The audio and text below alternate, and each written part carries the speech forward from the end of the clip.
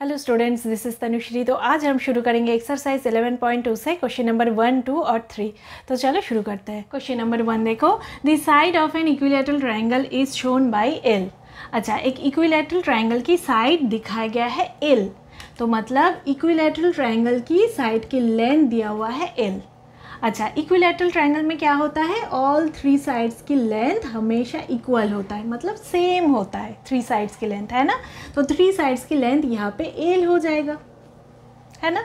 अच्छा express the perimeter of the equilateral triangle using L तो हमें क्या निकालना है? ये एल यूज़ करके इक्विलेटरल ट्रायंगल की पेरीमीटर हमें निकालना है।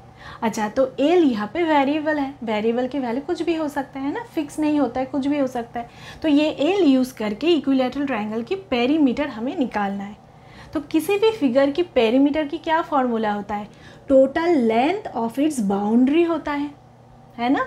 तो इसकी जो बाउंड्री है ना, इसकी टोटल लेंथ हमें निकालना है। तो यही हो जाएगा इसकी पेरीमीटर तो देखो, यहाँ पे साइड है, ये साइड है, ये भी साइड है, ये भी साइड है।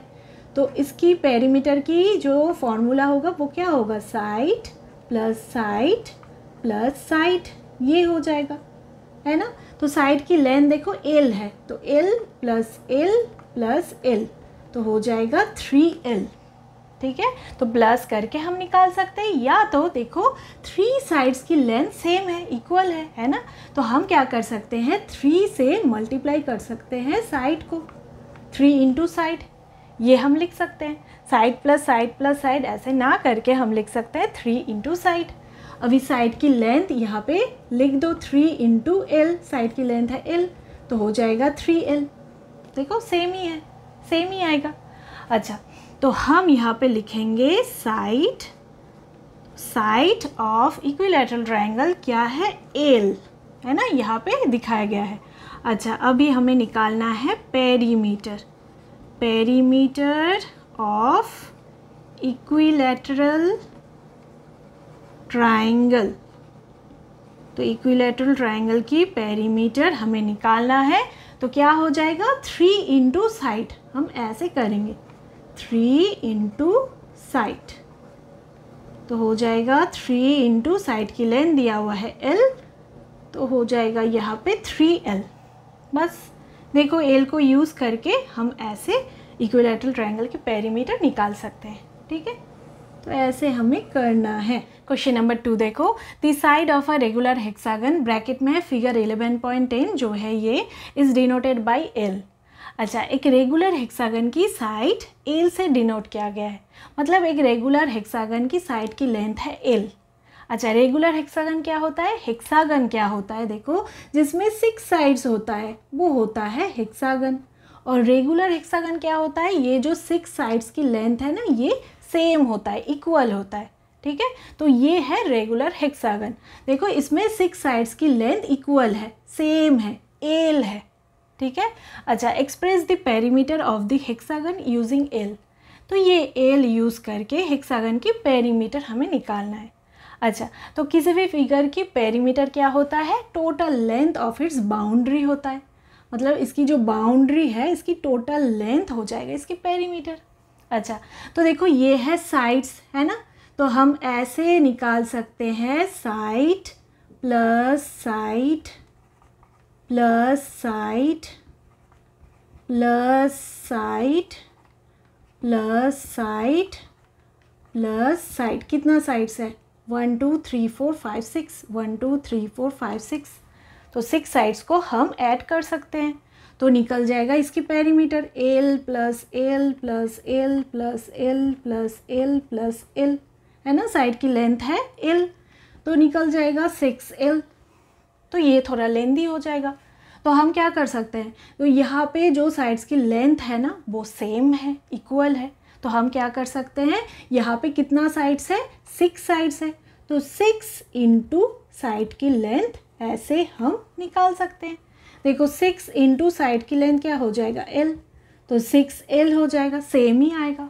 तो हम क्या करेंगे? हम मल्टीप्लाई कर देंगे इजी हो जाएगा।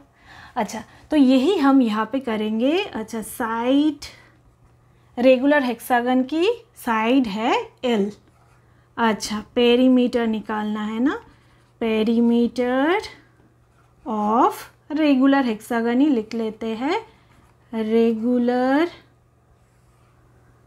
हेक्सागन तो क्या हो जाएगा? यहाँ पे सिक्स साइड्स है। तो सिक्स इंटू साइड कर देंगे। है ना? साइड की लेंथ सेम है। तो हम मल्टीप्लाई कर सकते हैं ऐसे तो सिक्स इंटू साइड की लेंथ है एल अच्छा तो ये हो जाएगा सिक्स एल ठीक है? तो देखो एल को यूज़ करके हम ऐसे पेरीमीटर निकाल सकते हैं। बस। तो ये हो जाएगा क्वेश्चन नंबर टू। अभी हम नेक्स्ट क्वेश्चन नंबर थ्री देखेंगे। क्वेश्चन नंबर थ्री देखो। A cube is a three dimensional figure as shown in figure eleven point eleven अच्छा फिगर इलेवन पॉइंट इलेवन में एक क्यूब का फिगर दिया हुआ है, जो है थ्री डायमेंशनल फिगर तो थ्री डायमेंशनल फिगर में क्या होता है? थ्री डायमेंशन होता है। लेंथ ब्रेथ और हाइट होता है। तो ऐसा होता है three dimensional figure length breadth और हाइट होता है। अच्छा स्क्वायर बॉक्स जो होता है ना स्क्वायर से बनता है जो बॉक्स वो भी है क्यूब का एग्ज़ाम्पल तो वो देख सकते हो तो समझ में आ जाएगा क्यूब कैसा होता है।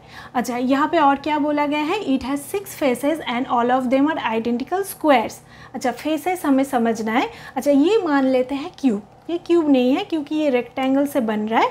अगर ये स्क्वायर बॉक्स होता स्क्वायर से बनता तो ये होता क्यूब अच्छा तो फेसेस क्या होता है? देखो, ये जो फ्लैट सरफेस है ना, इसको हम बोलते हैं फेसेस तो यहाँ पे है सिक्स फेसेस तो कैसे बन रहा है? देखो, ऊपर नीचे दो फेसेस और साइड में देखो one two three four four faces तो टोटल बन जाएगा सिक्स फेसेस देखो, ऊपर नीचे दो फेसेस और साइड में चार फेसेस तो टोटल है six faces and all of them are identical squares और इसमें जो स्क्वायर्स है ना, ये है आइडेंटिकल मतलब सेम शेप और सेम साइज़ का है, सब में। अच्छा the length of an edge of the cube is given by L तो क्यूब की जो एज की लेंथ है मतलब साइड की जो लेंथ है ना, यहाँ पे एल दिया गया है। तो हर साइड्स की लेंथ सेम ही होगा एल ही होगा, है ना? आइडेंटिकल स्क्वायर्स है तो सेम साइड्स की लेंथ होगा। Find the formula for the total length of the edges of a cube तो क्यूब की एजेस की टोटल लेंथ की फॉर्मूला फाइंड करना है, ठीक है? तो टोटल लेंथ फाइंड करना है मतलब पेरीमीटर हमें फाइंड करना है।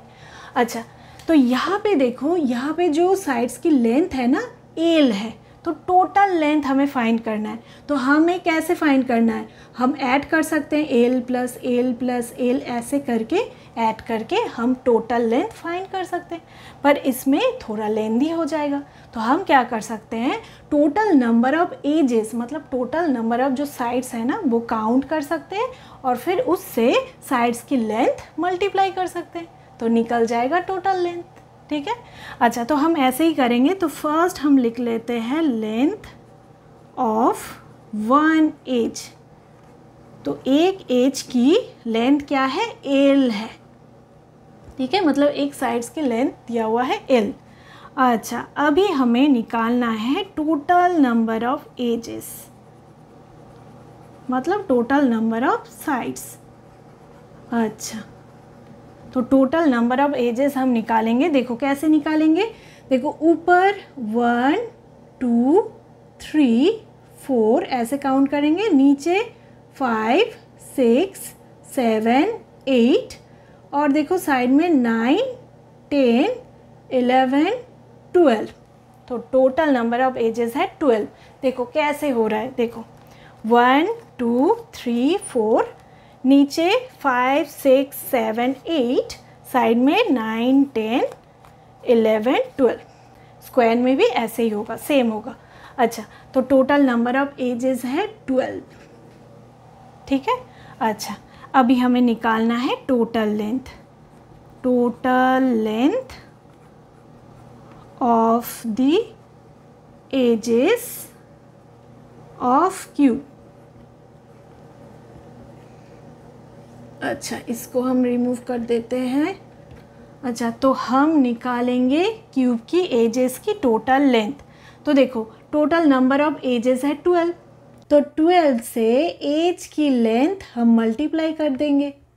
तो एज की लेंथ मतलब साइड की लेंथ हम मल्टीप्लाई कर देंगे।